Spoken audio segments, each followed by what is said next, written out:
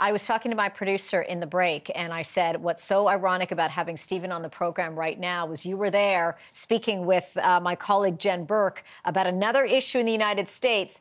This then unfolded. So take me back to that moment and, and couple that with what you're hearing, what we're hearing now from Donald Trump, um, your perspective, your view.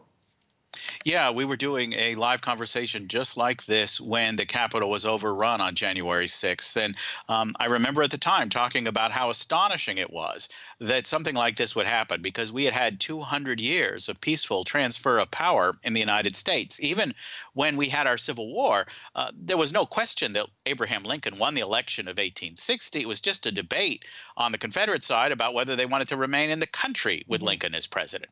Um, and so this is really extraordinary.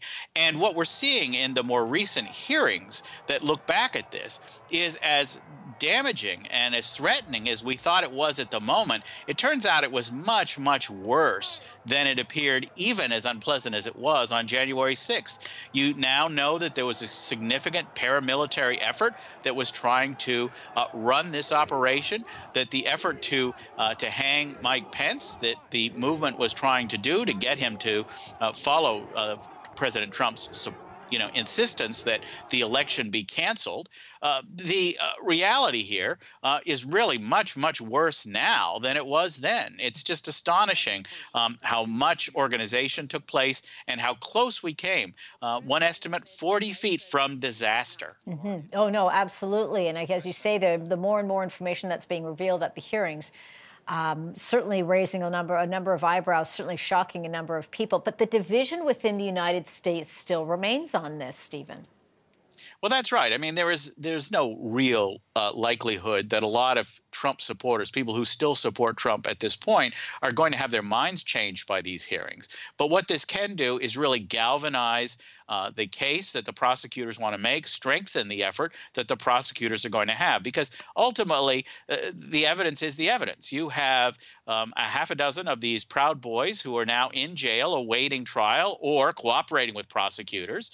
Um, you had uh, one of the top investigators on this committee, Congressman Raskin of Maryland, talking about how uh, they have links that very clearly draw Trump to those Proud Boys uh, that is going to be revealed in the hearings to come. And so uh, the question is not whether what people feel mm-hmm. is a matter to be resolved. It's rather what the evidence shows because public opinion does not determine prosecution, does mm-hmm. not determine conviction. That's going to be based much more on the evidence than the framing of the former president or others. What about on the political front? Who's going to be representative? Of course, the House of Representatives, the Senate, the Congress. We know the midterms coming up in November. This being the first time we've heard from former President Donald Trump on this, of course, referring to the hearings as a you know horrific situation, saying it's a waste of people's time.